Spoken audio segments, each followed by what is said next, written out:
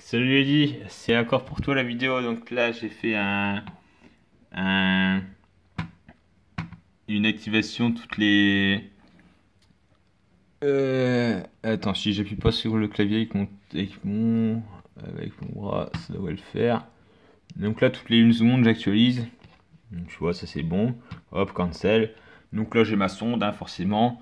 Là, j'enregistre dans les logs. Là, j'affiche un θ, j'affiche une température maison. Et après, on voit ça sur le dashboard. Donc 20 degrés 9, 21.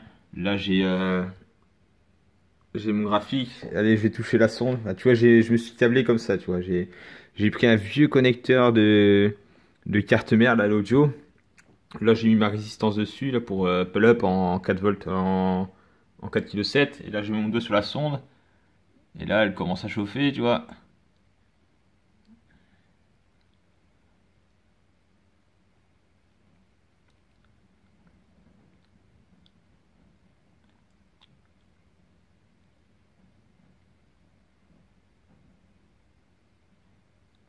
Voilà, bref. Nickel. Et j'ai fait ça en local avec un clavier sans fil, euh, un Logitech, pour pas faire un placement de produit. Là, j'ai foutu le long. Euh, et euh, j'ai chopé un écran en HDMI, tu vois. Donc voilà. Quoi. Bon, allez, je vais aller bouffer maintenant. Et voilà, quoi, c'est tout.